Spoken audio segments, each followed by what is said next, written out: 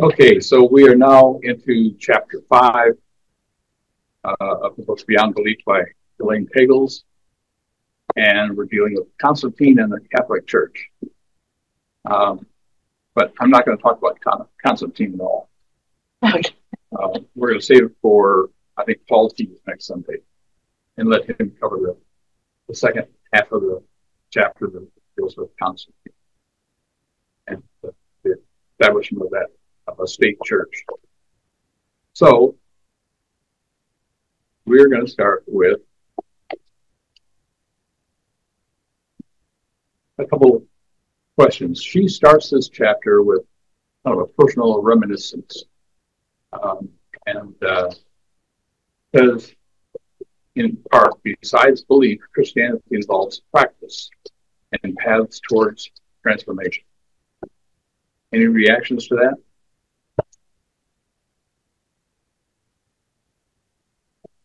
Is that what Christianity is for you? Say it again.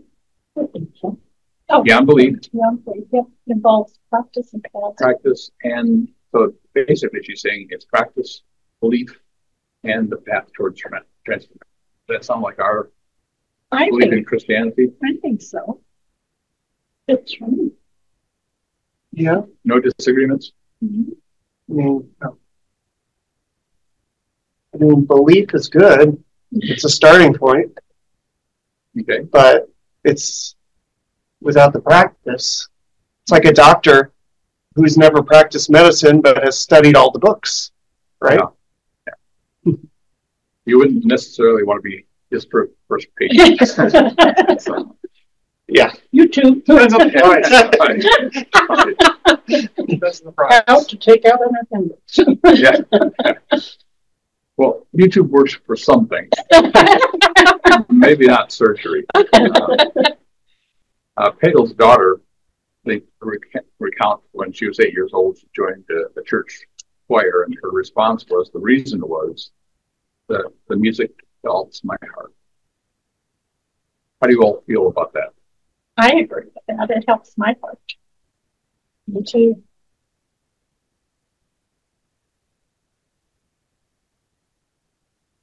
Sometimes more than the spoken word. Yeah, yeah. And music and movie tears, and sometimes the spoken word doesn't. So.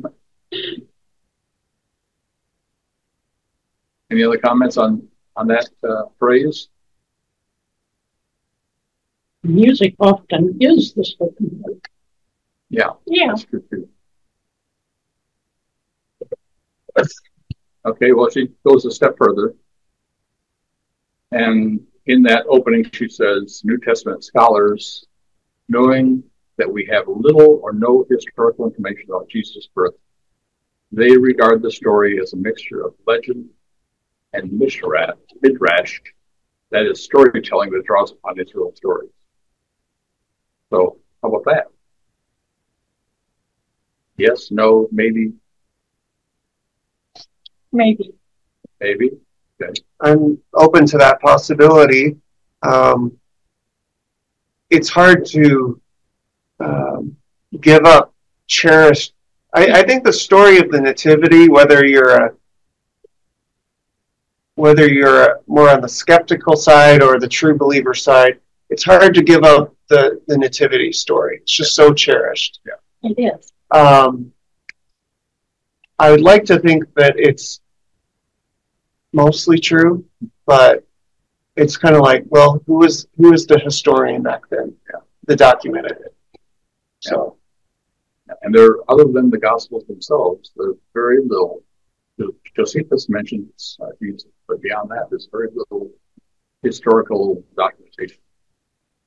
Again, besides the Gospel. yeah, Well, you mentioned the nativity story, and she talks about attending to the sounds of the silence, the candlelight and darkness. I felt the celebration take us in, in and break over us like the sea. When it receded, it left me no longer clinging to particular moments of the past, but borne upon waves of love and gratitude towards Sarah, the daughter, toward the whole community gathered there at home or everywhere, the dead and the living. She experiencing kind of an emotional reaction, and this is to the story of the nativity scene, Christmas Eve service. Anyone ever felt that? Maybe not at the nativity, but yes, I have felt. Sometimes here in church, just being able to, I imagine that the death of her son stayed with her and maybe crippled her emotionally for years and years. And maybe this was something that helped her come to the final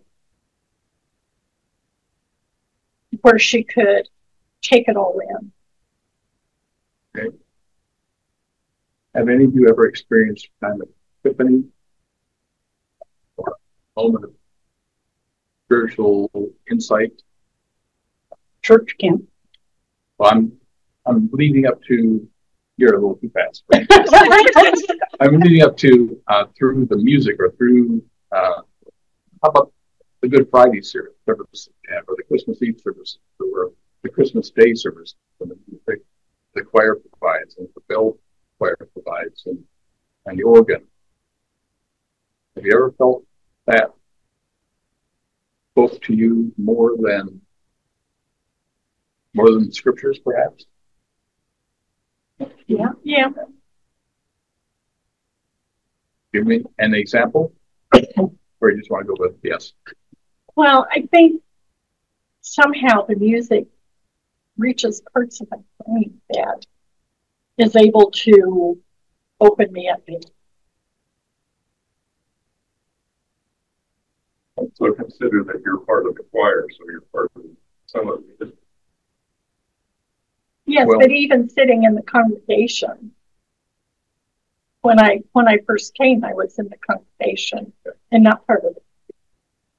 Do, do you not feel that as part of the choir? yeah.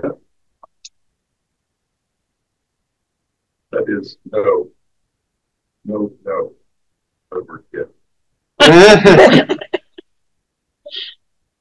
Well, um, I think part of what uh, Pagels is driving toward here is the concept of scrip- scripture versus personal emotional experience, yeah, and whether that brings us can bring us to, to God as much as or to Christianity as much as studying the scriptures. I think sometimes more so because you're in the moment and you're surrounded by people and you know, you get it multisensory Hmm. rather than when you're just reading the scripture, it's just you and the scripture and God. Mhm. And so sometimes the culmination of all the, the different parts, you know, become a, a larger whole. right. So like, it's interesting because uh, some people grow up in the church, they're steeped in scripture, and it's just kind of in it's in the air. And then you have people that are come into the church, and this is all new to them. Now, sometimes new converts have a certain zeal to them that exceeds that of the um, old timers, but uh, uh, it, there is a, a subjective experience for sure. Um, I guess the only danger with that is that you don't want to raise up that personal experience too high. It becomes an idol. But scripture can also be an idol. I uh, I think we have just as we have different learning styles, like we have different worship styles. And for me, the music has always been a very in- integral part of, worship, and and which is not to say that some messages have not typically do. So so let's uh, take a step forward. And uh, Irenaeus, our dear friend, says if spiritual understanding may arise from human experience, what we're just talking about, doesn't this mean that there's nothing but a human invention and therefore false? Hmm. I'll say Irenaeus is not one of my favorite people. um, I mean, yes, you can be led in the wrong direction, but I think if there's no personal experience, then I don't think you grow.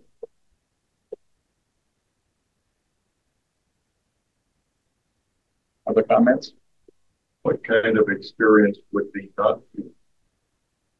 Well, I that's a good think he means just listening to what the preacher has to say and then go along your merry way. Yeah. yeah. And even that is a human experience, truly. I- Well, revelation is humans encountering God and filtering it through their perception. You know, we cannot experience God in totality. We would be vaporized, you know, so, or our minds would be blown, or it wouldn't. So, yeah, I think, I think I think he um is closing the gate just a little more too narrowly for most of us, but I I see some wisdom in that. It's Why, just why do you think he's trying to close the gate? With what we study now, why do you think he's trying to close the gate? Because he wants us to listen to him and nobody else. That, that's true too, but it's it, it just seems like it was the Wild West back then in the first century. It was Well, kind of. theologically it was the Wild West. It was just that's a, that's a good, uh, example, actually. yeah. and you know when you're getting rounded up and killed and and dissent was not tolerated of course he kind of became tyrannical too but i, I don't know Um, goes on to say, do we mistake our own projections for the theology? Each one seeks to validate his own experience. sometimes. Any examples? Or is that kind of hard to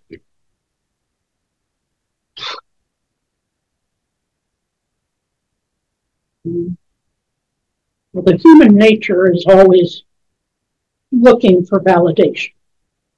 Uh, whether it's just having somebody tell you, you know, you did something good or you, you know, giving you a pat on the back. You it's human nature, nature to crave. So I, I can see a little bit of that in there. Um, and we can only understand things through our unique journey. Uh, what has happened in the past affects everything, you know, in one way or another. And so we do project our own understanding on everything that we see and hear and do. I think that's, that's a good summary. We are all, uh, well, seeing through a glass darkly.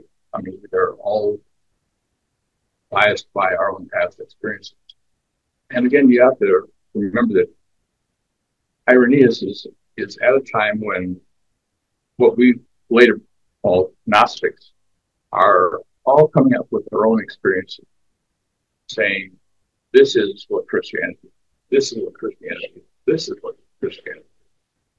And, and Irenaeus is saying, no, it's only based on what he calls the four form gospel Matthew, Mark, Luke, and John.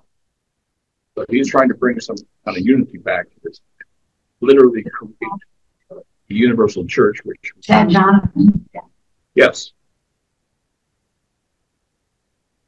I don't know what that was. Oh, that was me joining and I'm trying to unmute. Mom and I are gonna listen. Oh, okay. Okay. Well, Sorry.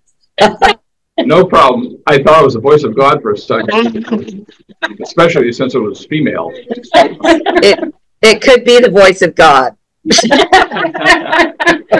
Feel free to interrupt at any time. So you, Irenaeus is trying to create this universal church, which we call the Catholic Church, small c Catholic. Uh, and so he's trying to limit how Jim Needham views the scriptures and interprets them, and how John O'Neill does, and how Arlene Leonard does. He's trying to say, if it's not in the four gospels, it's not part of Christianity. So that's that's what he's why he's downplaying personal experience, because they had all sorts of individuals prophesying, interpreting, uh, both priest and non-priest, basically saying this is what Christianity is, and he was trying to stabilize or standardize. Hey, Jonathan, Yes, since he thinks everybody else's ideas are subject to being false, how come he never questioned maybe his were? Well, that's uh, that that may be the biggest question of all, um, because when we all of us when we grasp onto something that we think is is correct, it's really hard to shake us. So uh, I'm not sure Irenaeus didn't at some point have some self-reflection, but as the result of it was, he thought that these four gospels had to be the basis for for Christianity. Um, and so the question is, and we've kind of answered it already: Do we believe in Irenaeus that, as I, Irenaeus did, that whatever we might say about our own experience has nothing to do with God?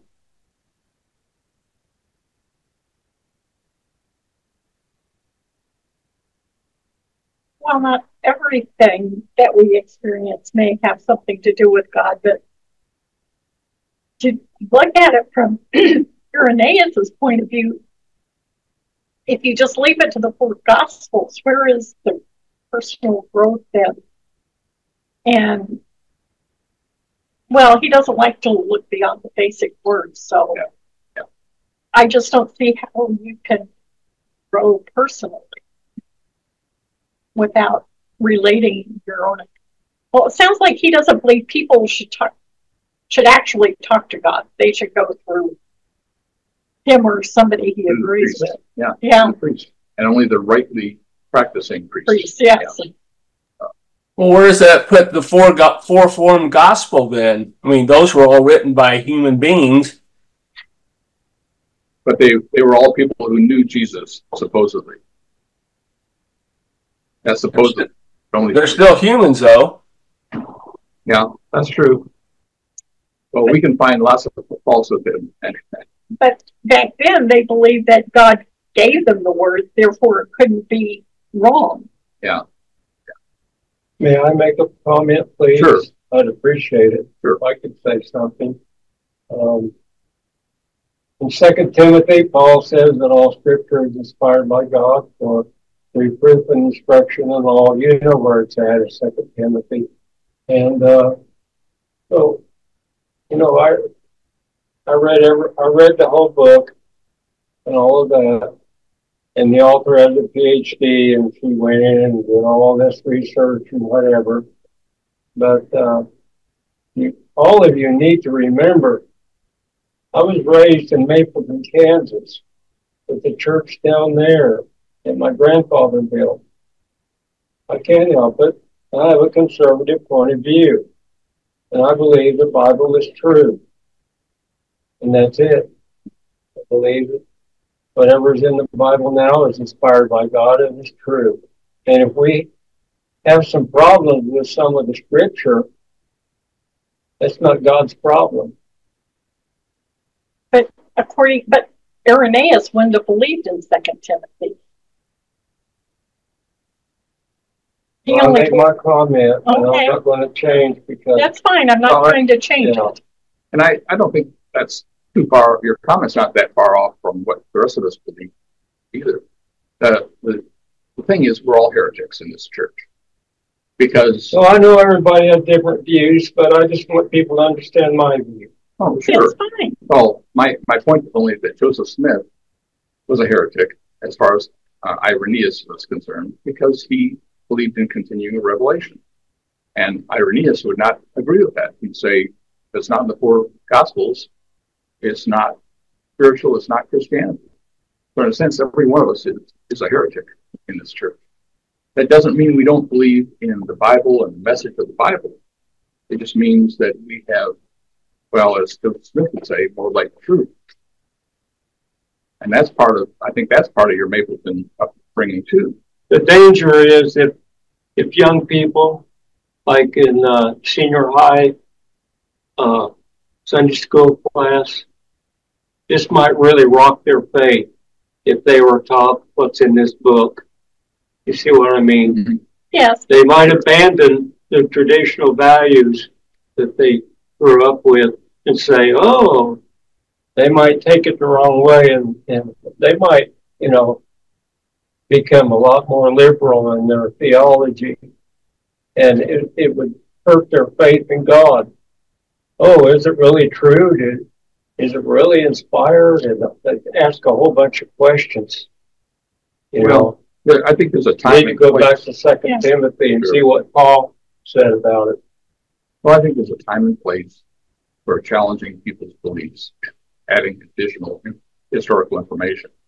Um, I don't think we can avoid it because if a, a young person goes into college or even high school and has a religion course, they're going to they're going to talk about the historical basis for Christianity, and people are going to be challenged. But part of it is you need to be prepared and understand what you believe, what you truly believe, and, and what you don't. And sorry, I'll I'll leave it at that. So I, I think that Irenaeus is simply saying to us, he believes in in a very strict interpretation, which would exclude um, the letters of Paul, would exclude Latter Day Saint revelation, and we can choose to uh, follow that path or not. Um, so let's take a look at the next step here.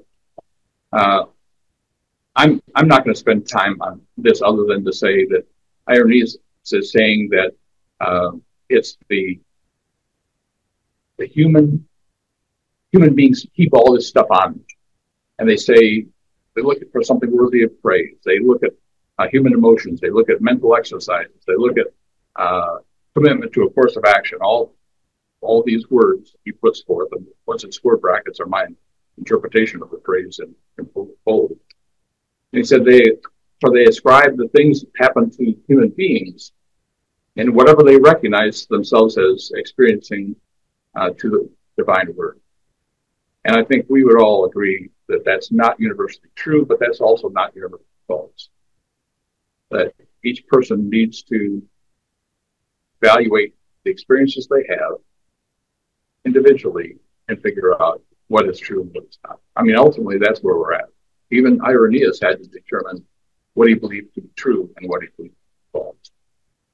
I don't quite understand that when it says they have lied with no possibility at all against God.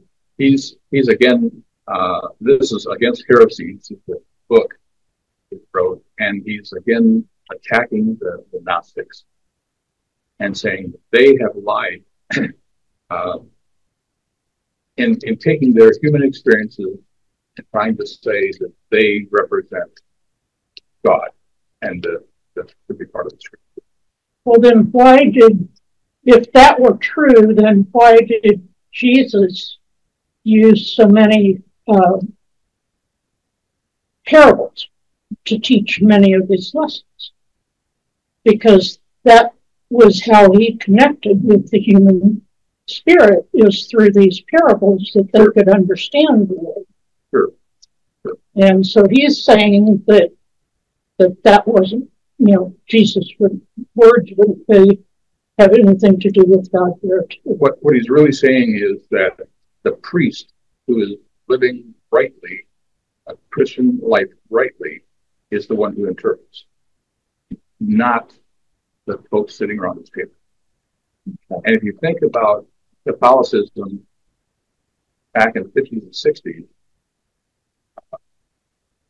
there, it was pretty much a matter that you didn't read the Bible yourself. The priest told you through catechism what the meaning was, and you accepted it. There was not, I can't speak to it today. I, my wife was Catholic. She's described to me going through those early years and the process. I can't address what it's like today, but they never sat around a table like this and discussed the meaning of the parables. And in fact, if you did, yeah, you're not wrapped. You, so you don't ask those questions. You just sit. There. So I think that's a natural uh, result of Irenaeus and his trying to combine things and keep it pretty much standard. Tidy. Yeah, keeping it tidy. Yeah, good way to put it. Well, the Catholics, I don't know if that's, my understanding is from my ex-daughter-in-law, and she told us, and she was Catholic, uh, had, had been raised Catholic and, and she was saying that even if, when she goes into another church and listens, that that's something she needs to go to confession about, because that's a sin. And even if she goes to another church when somebody's getting married or having a funeral, that's, you know, a sin for her would be a sin. If it was a sin.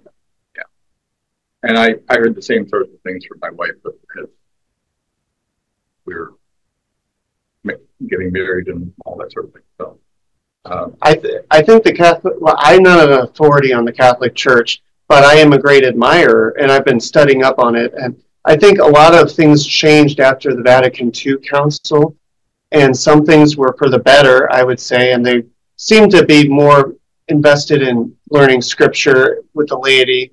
Um, there are some other things that I don't think have been good, but I'm an outsider. Um, but yeah, whenever I, I'm not big on micromanaging, you know, the flock, so to speak. Uh, I think you you should keep people in line to some extent, but yeah, micromanaging never never ends well. No, it ends up in a lot of reflection. Was that your experience growing up? As a Catholic? I don't- You know, I think like in any group of people, there's, everybody has different angles. to approach it. I think, I think it's mixed. Oh, Even though they're all going to the same place and listening to the same people, they're all following different rules. Regardless of, Well, and I was, you know, you were saying that yes, Irenaeus wanted it all tidy. Well, life isn't tidy. well, I, my bringing up the Catholic Church of the fifties is simply a way of saying that I think that's a natural progression from Irenaeus. And, but I, I know that, uh, there have been changes in the church. Yeah. I know that they have become more open, especially in the more recent pope. So, like every organization, there is some, some growth and change.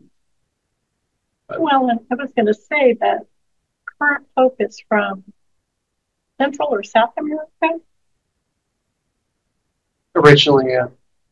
So I was wondering how much maybe he was into liberation theology.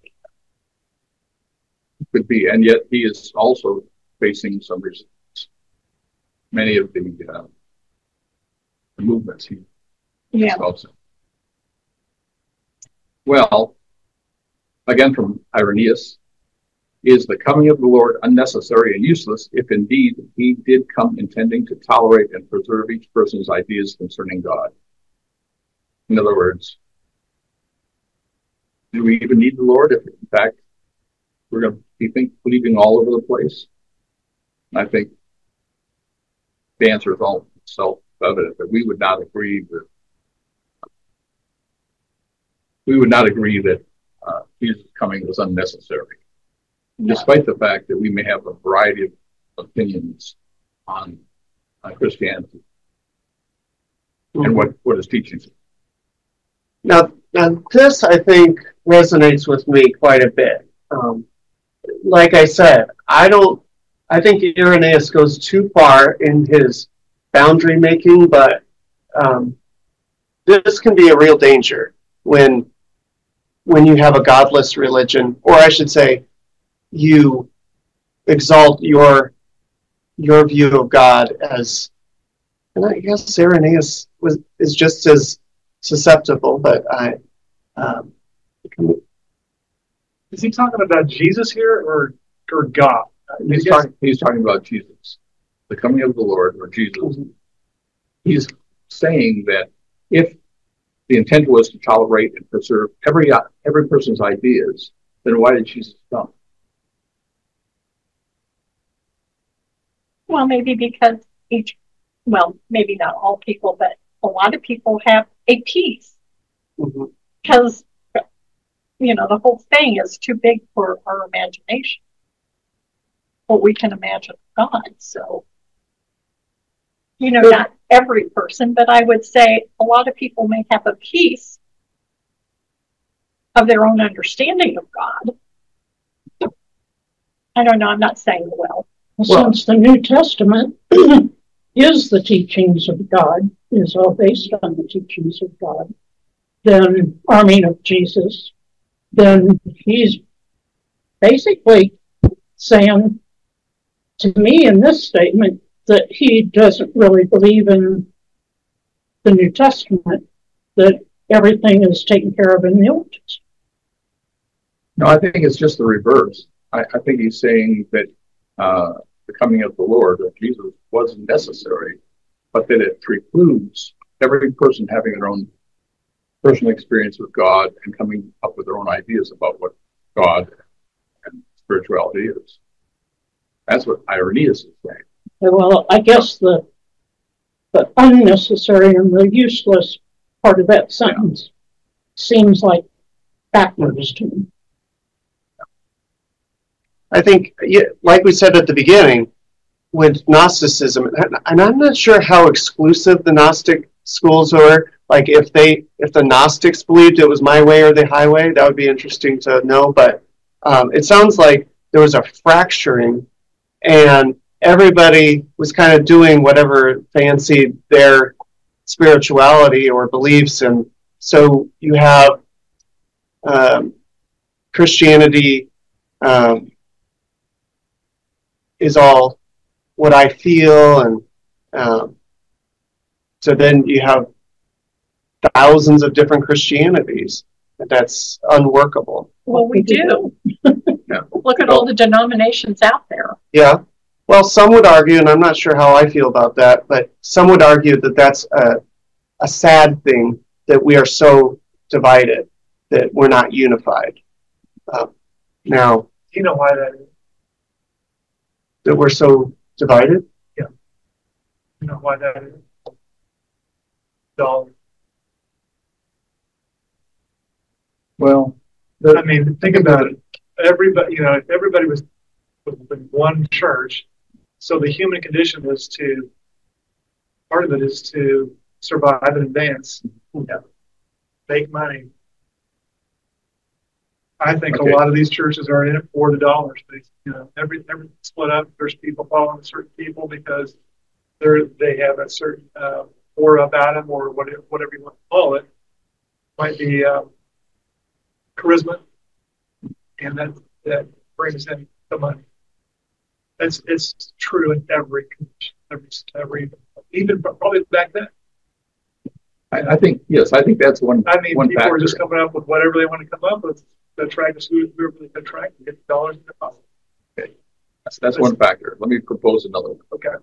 Uh, another one is that my beliefs when I was eight years old and baptized are different than my my beliefs when I was 13.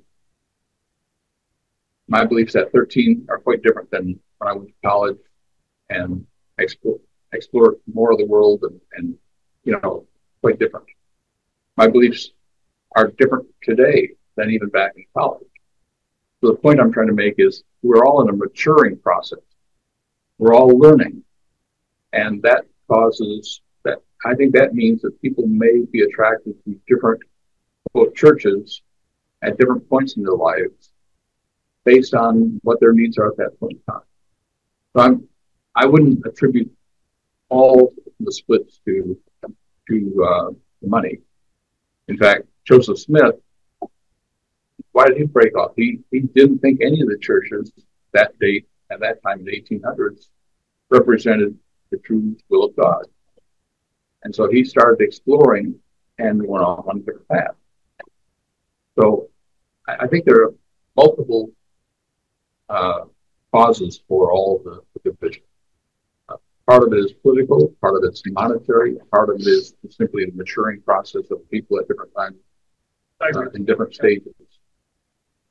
Well, and the different founders of the different, you know, the Baptist, well, you have Calvin, you have Martin Luther, you have a lot of these people who felt that they were taking the right path when they established their view. I mean, Martin Luther wasn't particularly looking to be not a Catholic, but Yeah, exactly. he was upset with some of the the selling of Indulgence. indulgences. Yes, thank you.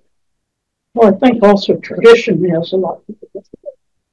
Uh, you know, the traditions of, of your particular, uh, heritage or, you know, background with your own, uh, um, not race, but uh, race as well, but, you know, whatever your just family background is, you know, you have traditions from grandpa and grand, you know, generations back, but, you know, some people are reluctant to make any change away from that, where they could be ostracized from their families. And then there are cultural differences. Right, that's what I was trying, Um, what I was trying to I mean, I was just reading, okay, so I- my class starts tomorrow, but I've had a lot of reading to do.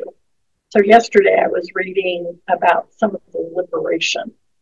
The, I was reading from the, uh, black liberation. And the guy who was writing it, I can't remember his name, was really upset with all the white theologians because they looked at it differently than the blacks, who most of them at that time were enslaved, their view of Christianity was more present, was saying they didn't have the opportunity to have the philosophies and the, you know, to sit down and think and have discussions because they were working from sun up to sundown. And so their religion dealt more with freedom and uh, taking away suffering. And so they looked at the Bible stories more, not literally that they happened, but literally as to being saved from enslavement. Again, there, I think there are multiple, why there are multiple churches. And I am not personally so convinced that that's a bad thing. Uh, if, if the pastor is simply in it for the money, that's, that's different. But I think that people are attracted, some people are attracted to music, some people are attracted to the message. We talked about, you know, we are basically a community church or a family church, where we are. Uh, because most of our people are, they, in some way, by, by family. And that's not so bad either. And I'm not sure God frowns on any of these unless it's the charlatan trying to make money. So, The money changers in the temple. yes, right. Um, yeah, John, I'm just getting general, just discuss. Uh, one of the reasons that Christ did so much in parables is because he wanted to place things in the perspective that each of us could use our own identity and do confirmation if we would in saying, yeah, I can see how that applies to what I know. This is what maybe my dad taught me or my family taught me, or maybe this has been my experience. Mm-hmm. most of my ministry as an evangelist is first person. We've shared that. But then I think because maybe I didn't feel adequate enough and God promised me he'd do that if I loved his people. And he's never broken that promise. But I found as I've talked to one person and God shares with him. Well, for example, I, I know a, really brilliant engineer that had all kinds of problems. And, and using my mouth. God talked to him, and Andrews, even as a nuclear engineer, was way past me. but it came from directions that this man understood. Then I talked to other people that were basically almost illiterate. And God spoke to them in a different way. So when he says, you know, that it wouldn't be necessary for Christ to come, that's not all true. Because Christ came so we could each grow and develop and further understand what little bit we know. in the hopes that once we grew into it and we got to see more, we would see that we're actually growing closer together. And, and you see that today. Churches today are not as divisive, not as rigidly divisive as they used to be. We're finding more and more times we have things in common with other people. They just call it a different thing. Instead of confirmation, you know, coming at a different point or coming right after baptism in certain churches, where when you become at a certain age, which is the same thing as, as our age, you know, accountability and stuff like that. They just use different terminology, and and their confirmational thing makes them approach. Now, this means the psychologist. The confirmational thing helps us approach things in which we're better versed. And so, if we see something that's close to what we believe, we're more inclined to read that again. If we see something that's totally against what we believe, we're a little more cynical, and sometimes we don't want to read it at all. And, and I think that's where the Spirit acts with each of us individually. He takes us where we are and what we know and understand. He says, Now let me take you to the next step. No, I, I think that makes a lot of sense. And I think that speaks to how God really tries tries to reach us where we are. Uh, and that's why we've got four gospels. Because each of those addressed a slightly different audience. Um, because God was trying to reach us people in different ways. So, um, gonna, and an important thing there too to always remember is God loves us where we are. Yeah. You know, it doesn't make any difference how big a sinner you are. It doesn't make any difference how many times you've done that stuff. He still loves you. That doesn't mean, you know, he doesn't want to work with you and you have to be accountable. But that doesn't affect the amount of love that he has for you and his desire to see you overcome that. well, the next question I want to pose to you is, do individual ideas about the nature of God deny the utter uniqueness of Jesus? Does viewing Jesus as human diminish his, his message?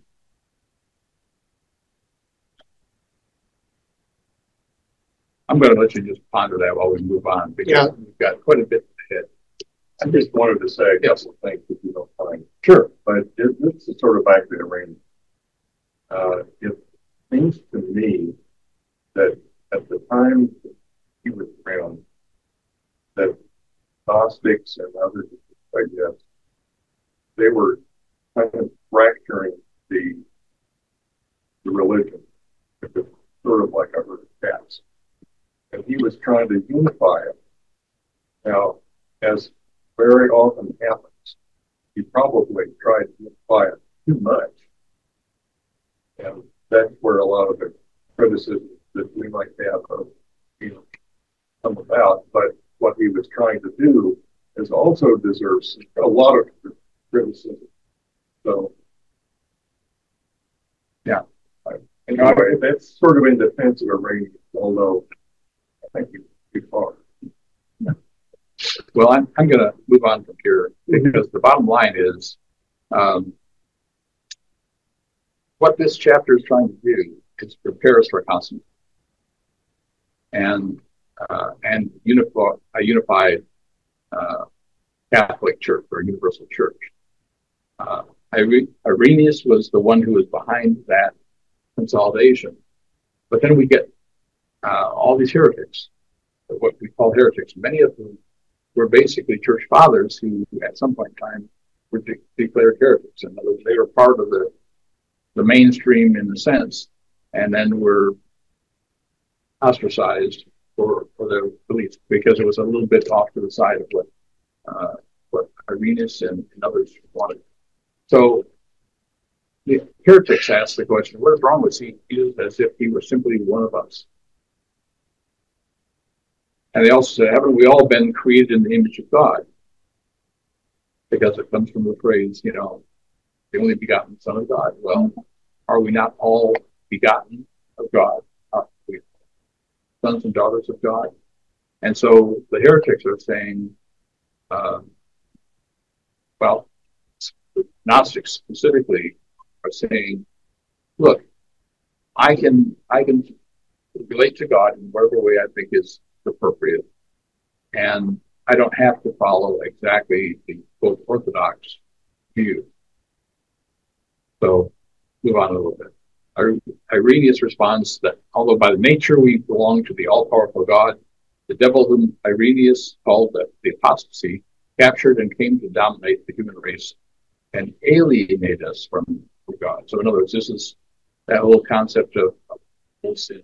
How there's a, a powerful creature, force out there, devil, Satan, whatever you want to call him, who has drawn us away uh, from from uh, the true true God. And so the question is, what's apostasy? You know what apostasy is? Because he says, Irenaeus called the devil the apostasy. What is apostasy? Going away from God. Going away from God. Very close, very close. Is it a falling away, a withdrawal or abandonment Christianity? Hmm. Okay. So what he's saying is, if you don't believe what I believe, you're withdrawing from Christianity. You're in apostasy. There's no one, no other way we could have learned about God unless our master, meaning God and Jesus, existed as as the Word and had become man. And the Word is a key phrase here because if you look at John, God equals the Word. The Word is with God, and Jesus is God. Is is the Word, therefore Jesus is God. So I guess there's a lot going on here, but um, what do we, you know, what do we in Community of Christ believe about salvation and about the atonement? Many Christians believe that Jesus died so that we um, could be saved from sin as as uh, kind of a sacrificial atonement. Um, I've heard many different interpretations within the church. Um, sometimes we tiptoe around it, but you know, had God or had Jesus not um, had any ministry up until the crucifixion, would he still have been necessary? You know, and um, so I'm not sure. I'm not sure how we want. If you want to respond to that, but um, it sounds like Irenaeus is saying that Jesus conquered Satan through the act of the crucifixion and resurrection. Um, that, that's correct, and that's yeah. a that's a, a, classical Christian belief. Yeah, that Jesus came and died for us as the Son of God. I However, pardon? I remember learning that in church. Yeah.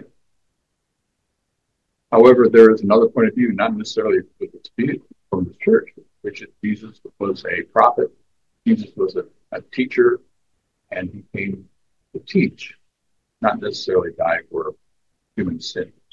Then you get into the whole discussion of original sin. We're really born sinful, or are we not? And if we're not born sinful, then why did Jesus die for our sins? So that's beyond what we're going to settle today. well, but uh, be happy to hear comments if you want to make on it. I mean, as I as for do do we come out of the womb sinful? I'm not sure I go with that, but it's just like a, a brand new white Ferrari going through the back roads, you know, we get dirty pretty fast. So sin, we find sin very easily. Well, and I kind of was under the impression that we did not believe in original sin. That if this church did not believe in original sin, that yes, we we find it as we grow up and our understanding of what's right changes. I guess, I guess if you believe in original sin, does that mean um, that an infant before they're baptized can go to hell? That was my understanding. Some believe that, and some yeah. churches do believe that. Yeah. Yeah.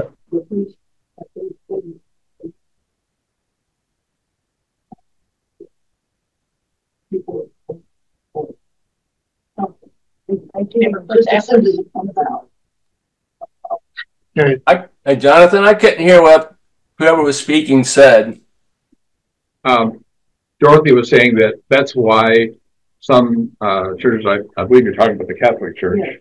Uh, the priest will, uh, if a, if a woman has a miscarriage, they will baptize the baby, uh, so that it wouldn't go to hell Before it was born. before it was born. In other words, it- you know,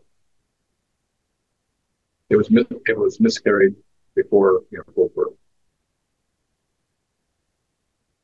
Our church has never, never believed that that was essential. In Yeah. fact, we, when do we baptize children? Age Yeah, eight. You have a blessing too, maybe blessing. So maybe Maybe that's, blessing. the- that's the thing that smooths it all over God. Uh, I always thought that was just presenting the That's the child to. God and, and saying, here is this child, we, you know, If you- care for him, care for him. Because at age eight, it was believed that you had some basic knowledge of right, Right. and so you were accountable for what you understood at that time. There's varying degrees of right and wrong. Well, but I mean, you had a basic knowledge of what was right. Yeah. Knew that to hit other pe- other kids or other people was wrong. You knew that it was wrong to take something that wasn't yours. Although oh, there, there are some eight-year-olds that who haven't learned that. Well, lesson. that's true. I mean, Yeah, it varies with the kid. well, yeah, And and I with the mean, parents, Yeah. raise the kid. Back to Steve's comment about the baby blessing. If you listen to most baby blessings, they basically in some way refer to the community as being supportive of that child as they grow up. I don't think it's meant to be like an infant baptism. of thing. It's meant more to say, hey, we're, we're here for the parents, we're here for the child. And help where, where we can. some churches call it a dedication instead of a blessing. I, I was unaware of that. That's, that's The Nazarene Church does. Um, I'm gonna move along, we're not gonna get through this, even the first half of this chapter, but, uh, we, with all of Irenaeus's concerns, the, the solution for him was we sa- safeguard the essential gospel message, uh, upon which all must believe for salvation. Okay. And uh, of all the gospel circulating. And keep in mind, there's a secret gospel of John, there's a secret gospel of Mary, there's a secret gospel of this and that. Uh, all, you know, we, t- we talk about the four gospels, but at that time, there were many, many, many gospels. In fact, I think Paul brought a copy of thick book that had all Yeah. of them. And I brought one the following Sunday with all the uh, Gnostic gospel, all the secret gospels. Um, and of all those, Irenaeus' solution is there's a four-formed gospel. And we could go spend a lot of time going into why there are four, but the four corners of the earth, you know, four elements, you know, what, fire, wind, water, Earth. earth, yeah, those are four. Uh, so four was kind of a magic number. So to him, there were four. And, and of those, he believed John was the greatest. Um, Christians in later generations called that the New Testament canon, uh, or at least part of the canon of the New Testament. I, Irenaeus never used that term, canon. It came in into being later on. And just for, I'm going to whip through this fast rather than ask you to define it. I'm just going to let you know that uh, it's based on a uh, Hebrew Greek word that says uh, basically measuring rod. So in other words, that's how you measure the, the equivalency is and parallels. That's how you measure your faith. The rule of faith, the, the norm, following the canon of Scripture. And the church fathers of the fourth century first employed that term in reference to what they called the definitive uh, scriptures of Christianity. And by that point in time, it did include the letters of Paul, the four gospels. Okay. So that's just a little side note. And the books of the Bible officially accepted as the Holy Scripture are, are defined as the canon. venue. So, part of what um, Pagels is trying to do is say to us, in between the life of Christ and Constantine, that there were many Gnostic groups, and she tries to paint this picture of the diversity. And what's interesting is, even though uh, Irenaeus believed that uh, John was the most important of all the Gospels, uh, Valentinus, who is a Gnostic, quoted extensively from. Um, Polycarp never mentions it. I love that name. Uh, Ignatius never mentions it. Uh, Justin Martyr uh, admired uh, Irenaeus. Oh, he was admired by uh, Irenaeus, rather, but never mentioned it. So these are early, are called early church fathers, and yet most of them never mention the Gospel of John. And the Roman teacher Gaius claimed it was heretical, uh, claimed it was written by uh, and not John. So you have all this going on at the same time. Uh, some saying this is this is heretical, some saying this is the primary gospel, and others not even talking about it. So I think Pagels is to give us a sense of the the diversity of Christianity at that point. And we talked about rabbit holes before, so uh, I wanted to go down this rabbit hole just for a second because I think it's important to understand some of the differences between the Gnostics and the Orthodox Christian. Uh, Cerinthus uh, believed there were two gods an Old Testament God, Yahweh, and the God of Jesus, the Father. And uh, that was believed by many of the other Gnostics and Marcion also. So there's two gods. One of the Old Testament, basically one of the New. One of the New Testament is the Father, the one that relates to us uh, more personally. Uh, uh, also believed that uh, Jesus was possessed of Jesus the man. The divine Jesus was was in Jesus the man from baptism and departed on the cross. And that the, the human Jesus was not born of a virgin, but a mere man, biological child of Mary and Joseph. We're getting a little variety here. Yeah. Okay. So, and obviously you can see where that was not the accepted Orthodox view, but it was a view of, of the Gnostics, of many of them, and even the Gnostics specifically. Yeah. Um, only, uh, uh, by the way, Cerinthus is, is only mentioned by uh, Irene, Irenaeus uh, in his Against Heresy book. And a very unbiased source, right? yes, right. and um, only his theological importance. In other words, we don't have a, any of his writing per se. We only have of, of Well, unless what's his name was right, he actually wrote John. yeah, well, that's true too. That's true too. I'm not know, saying that's true. know. I'm just saying. Well, another one is uh, Tatian, who was called the Syrian and also was a Gnostic. And he was a student of Justin Martyr. And what's interesting is, again, we're trying to fill in this variety of believers in, you know, the first, second, second century. Um, he was a student of Justin Martyr, and he escaped martyrdom. He was a student with him, and yet many, most of the students of Justin Martyr were martyred.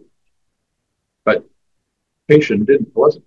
So we have to ask, how did Tatian escape that? He was dissatisfied with uh, contradictions and tensions in the four Gospels, and uh, came up with this diatessaron. It reminds me of something else like the marble, that diatessaron. uh, and it's based based on Matthew, Mark, Luke, and John. Some people say it's not based on Mark, just on the other three. But the only thing that survives are fragments. And but what's interesting is even though there are only fragments that remain, um, the Eastern churches in Syria uh, in, into the fifth century used that to read from. Well, why why did they read from it? Well, because it was a compilation of all the gospel.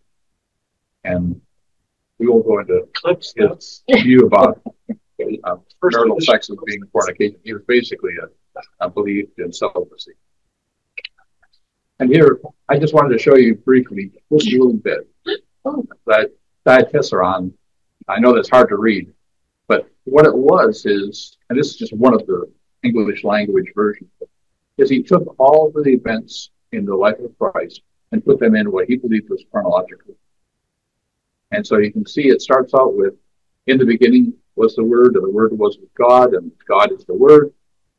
That this was in the beginning with God, everything by His hand, and without Him, not even one ex- existing thing was made. And go down a couple of verses, and then it all of a sudden jumps to Luke. There was in the days of Herod the king a priest whose name was Zacharias, and et cetera. So he hmm. literally pieced all the four gospels together in he was chronological order, omitting a few inconsistencies, although I can't find any. Pagels says he omitted some inconsistencies, but I can't find anybody else who tells me what those inconsistencies are. Um, but it, I just thought it was kind of interesting. Yeah. And we came up with uh, this divine equation that God is in the beginning. The Word, meaning Jesus, was with God. God is the Word. Therefore, if Ron Miller was here, he'd say that's a mathematical equation that says God, the Father, equals the Word, equals Jesus, the Son. So the Son is the same as the Father, etc. And we're out of time. So I'm Who was gonna, the person that wrote that whole, that whole like chronological? uh, Tatian. Tish. And you can, you can go online and look for, uh, the diatessaron. And you can actually download a copy. There are several copies in PDF form that you can download. And I didn't have time in the last week or two to go through and see what instances. So Yeah. that's why. Well, Okay, Very good. so next Sunday, uh, I think it's Paul, we'll let him know where we ended up and, uh, good luck to him. Okay? Thank you. yeah, thank you very much. You bet.